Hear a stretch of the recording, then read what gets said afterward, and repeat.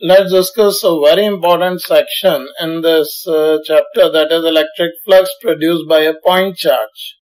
Say we are given with a point charge and we consider a spherical region and its surrounding. And here for the sake of clarity I have drawn a lower uh, hemispherical cup section and the upper section we have drawn it just as a dotted line. And in this situation say here if we are required to find the total electric flux originated by the point charge, we know that uh, electric lines are originated from a positive charge in radially outward direction. And if we just consider the lower hemispherical part, here you can see the modified diagram in which if we draw the electric line of force, it will look like this.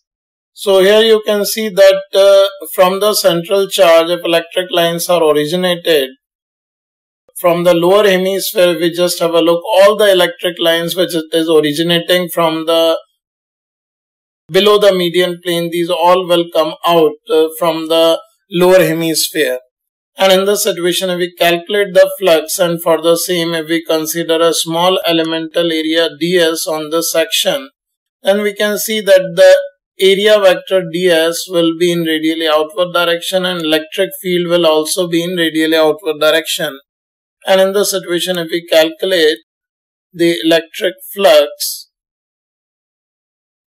through ds on this hemispherical section, this can be written as d phi which is e ds cos theta and as e and ds are parallel we can simply write it e ds cos 0 which is e ds. And we know that uh, at a distance r from the center of the sphere where a charge is placed electric field can be given as simply due to the result of a point charge which is kq by r square multiplied by ds. And if we find out the total flux through the spherical surface which is surrounding uh, the point charge q if we consider the whole surface we can simply write this total flux as integration of d phi which is integration of uh, kq by r square ds.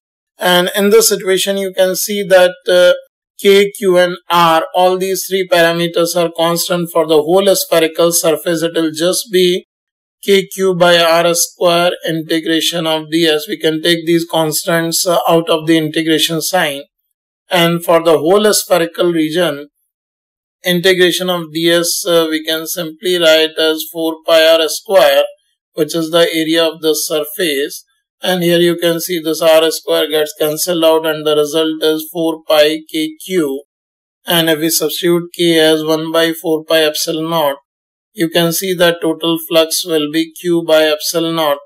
And it is the total flux which is coming out from the spherical region which is enclosing the charge q that means this is the total flux originated by the charge q. This is the flux produced by q as it is surrounded by the spherical surface.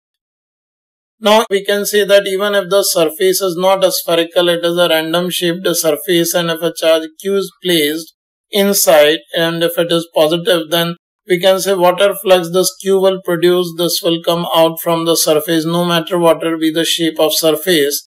So here we can see that total flux will remain same. Whatever may be the shape of surface.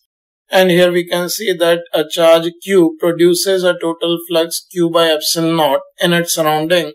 And it is isotropically distributed in its surrounding